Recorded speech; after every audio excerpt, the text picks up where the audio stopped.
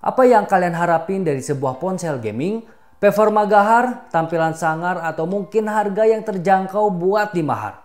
Assalamualaikum, halo jumpa lagi dengan Dadan. Di video kali ini kita bahas ponsel gaming Black Shark 3 garansi resmi dengan jaringan 5G. Ya ini adalah smartphone kelanjutan Black Shark 2 kemarin. Tentunya garansi resmi Black Shark yang saya pegang ini versi RAM 8GB dengan internal 128GB dibanderol dengan harga 10 juta kurang 1000. Link sellernya saya cantumin di kolom deskripsi.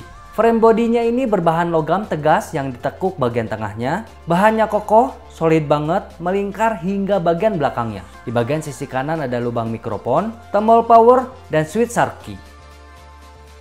Bagian atas akhirnya kembali lagi disematkan ada lubang jack audio 3,5 mili. Lalu sisi lain ada tombol volume, slot SIM card yang bolak-balik seperti ini tanpa ada slot micro SD. Oh ya, di sini ada seal karetnya untuk memastikan supaya air gak masuk ke dalam HP. Lanjut ke bagian bawahnya cuma ada lubang charger USB Type-C dan lubang mikrofon. Nah, untuk speakernya dipasang di depan dekat layar ada dua stereo speaker sekaligus. Yang menjadi pertanyaan, apakah suaranya optimal saat HP tengkurap? Langsung saja kita tes.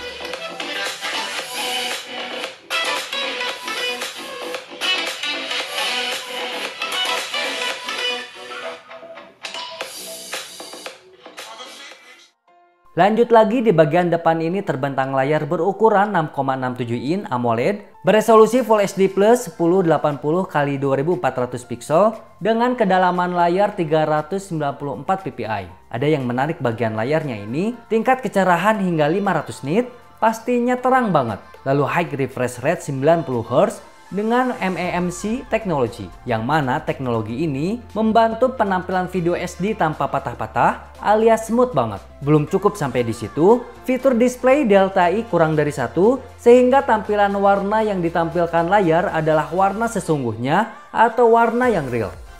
Dan adanya 270 Hz touch refresh rate membuat layar HP ini punya latensi atau delay touch yang rendah sekali. Ini cakep banget buat main game dan juga punya fitur canggih True View Display and True Hardware DC Dimming, di mana layar dapat menyesuaikan kecerahan dan temperatur layar sesuai dengan kondisi sekitar, sehingga tampilan dapat terlihat natural. Oh ya, di layar ini pun terbenam sensor sidik jari dengan kinerja respon yang cepat. Lalu paling atas layar ada kamera selfie berukuran 20 megapiksel aperture f2.2. Balik ke belakang, dengan desain dua garis vertikal dan horizontal yang simetris, memberikan kesan lebih ngegrip saat kalian pegang dengan posisi landscape dan merasakan keseimbangan sisi kiri dan kanan. Dengan perpaduan glossy dan frame metalnya, setidaknya kesan licin jadi sedikit berkurang. Bagian atasnya ada triple kamera yang framenya berbeda dengan desain-desain HP saat ini. 13 megapiksel aperture f2.25 lensa ultra wide, 5 megapiksel aperture f2.2 lensa bokeh, dan terakhir lensa utama 64 megapiksel super clear kamera aperture f1.8 Lalu di bawahnya ada LED flash dan LED RGB khas Black Shark. Seperti biasa kalau gadget gaming gak afdol kalau gak ada lampu warna-warni ini. Kalian bisa atur efek animasinya sesuai selera. Nah di paling bawah ini ada 4 pin untuk wireless charging yang chargernya sendiri dijual terpisah. Dan paling bawahnya tulisan 5G, ya Black Shark ini sudah siap dan support 5G. Tinggal nunggu saja infrastrukturnya siap di sini.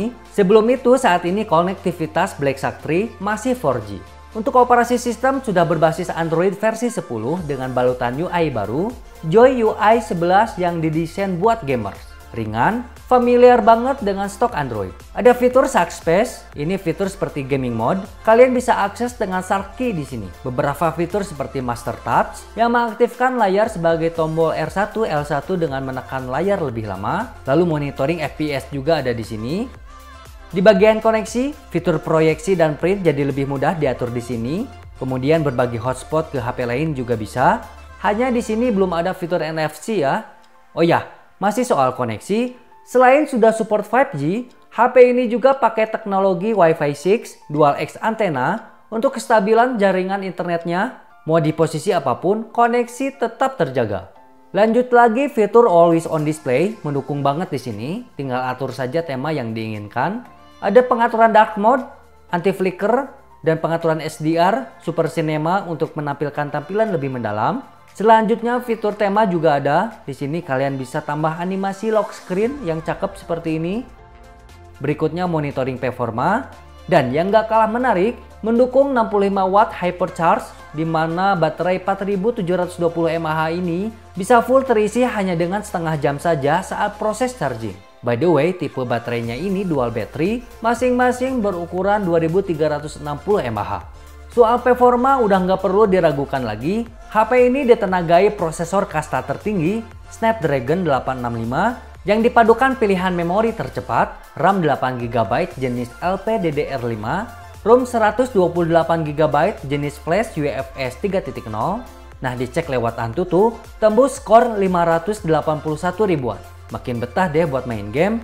Di sini pun saya setting pengaturan grafik Call of Duty Mobile langsung hajar rata kanan. Saat ini di tengah permainan, belum nemu adanya lag yang bikin stuck, stabil, detailnya tajam, dengan warna yang baik berkat kombinasi GPU dan layar AMOLED-nya. Kalau kalian tanya HP ini panas enggaknya saat main game, ya lumayan lah. Prosesor kelas ini memang terkenal cukup hot. Untungnya sudah tersemat teknologi sandwich liquid cooling system, jadi bisa teratasi dan panas bisa diminimalisir. Di sesi terakhir kita bahas soal kamera, dimulai dari kamera belakang, di sini mendukung slow motion hingga 1920 fps, mantap. Lalu rekam video 4K 60 fps, fitur portrait, malam, panorama, fitur pro juga ada di sini, lalu makro dan beberapa fitur lainnya. Di kondisi siang hari udah cakep abis lah. Warna yang dihasilkan natural banget, cerah, detail yang baik bahkan di keadaan backlight pun. Bisa menampilkan tingkat cahaya yang pas, tidak terlalu gelap bahkan overexposure.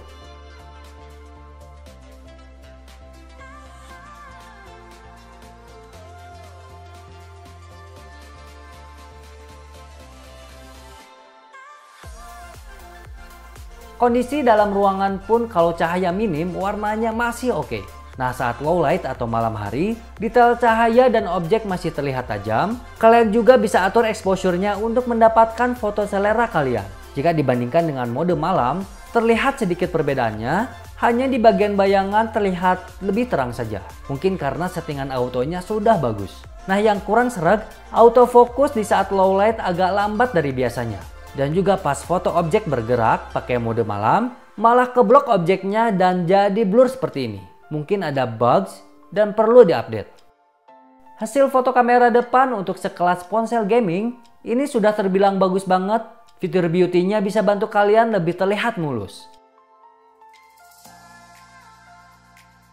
Soal rekam video, di sini saya setting di Full HD 60 fps saja Hasilnya terbilang baik dan mendukung video bokeh seperti ini. Apalagi kita bisa atur lock exposure saat video jadi lebih kelihatan pro. Ya ini adalah video hasil kamera depan Black Shark 3 dengan resolusi 1080p 30 fps. Di sini dalam ruangan ya. Kita cek ke luar apakah bagus backlightnya. Nah ini kita cek backlightnya. Ya seperti ini backlightnya kalau dilihat dari layarnya sih ini masih cukup jelas ya. Sekarang jam 8 pagi cuaca cukup bagus. Nah menurut kalian kualitas visual dan audionya seperti apa? Bagus atau jelek? Tolong komen di kolom komentar